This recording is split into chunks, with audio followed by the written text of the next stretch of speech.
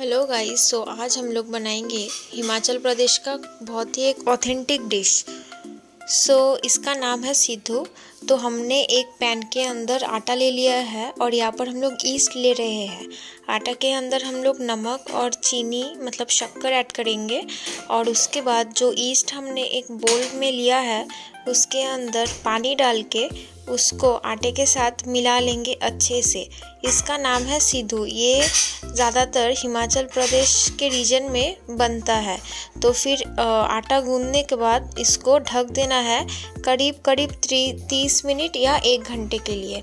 तो यहाँ पर हम लोग इसका अंदर जो पुडिंग डालेंगे वो हम लोग बना लेंगे।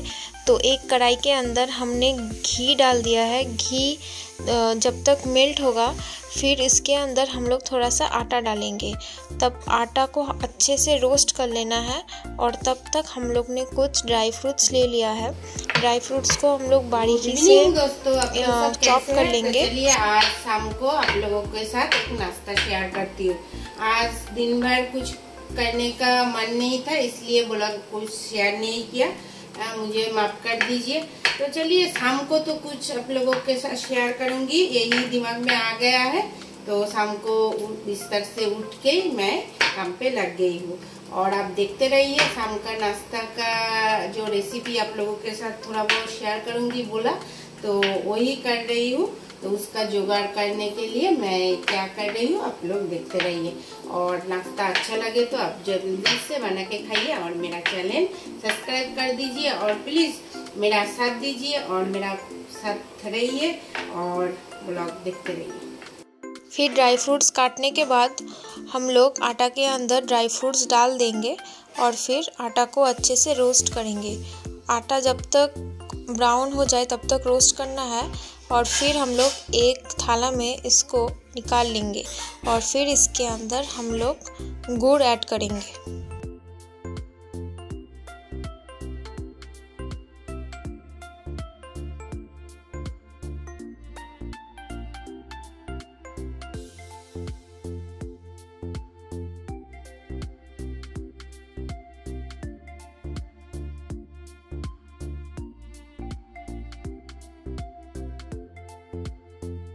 गुड़ के साथ ये आटा अच्छे से मिक्स कर लेना है, क्योंकि ये अब अंदर डालेंगे डालेंगे हम लोग तो अच्छे से आप लोग इसको मिक्स कर लीजिएगा।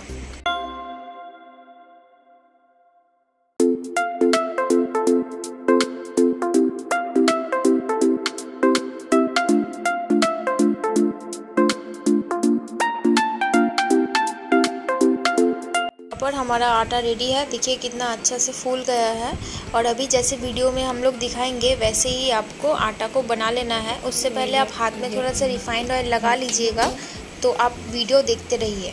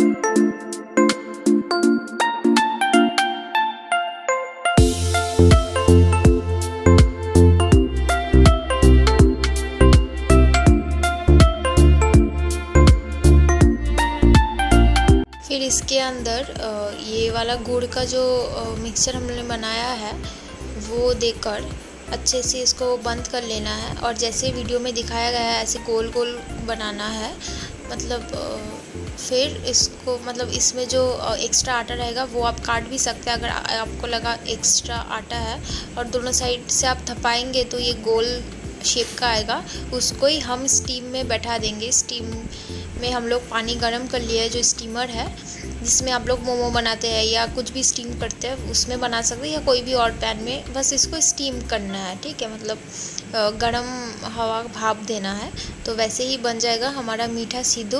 रेसिपी कैसा लगा ज़रूर कमेंट में बताइएगा और अगर आप चैनल में नए हैं, ज़रूर सब्सक्राइब कीजिएगा। और भी कई सारे रेसिपीज़ हम लोग लेके आएँगे, उसके लिए ज़रूर हम लोग को फॉलो कीजिए। और चलिए मिलते हैं एक नए ब्लॉग के साथ और नए रेसिपी के साथ।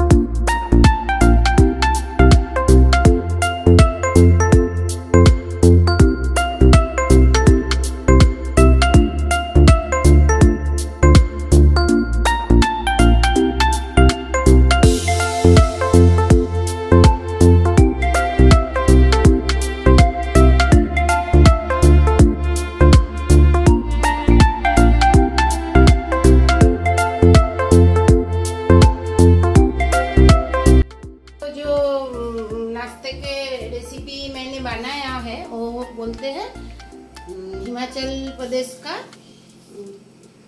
क्या वहाँ का मेन डिश ऑथेंटिक डिश तो उसका नाम है सिद्धू। तो मैं मीठा सिद्धू आप लोगों को शेयर किया है और मैं झाल सिद्धू भी तीखा वाला सिद्धू भी बनाया है वो मेरा बेंगोली चैनल में जाएगा तो आप लोग देखना चाहते हैं तो प्लीज़ सब्सक्राइब करें और वहाँ पर जाके भी देख सकते हैं।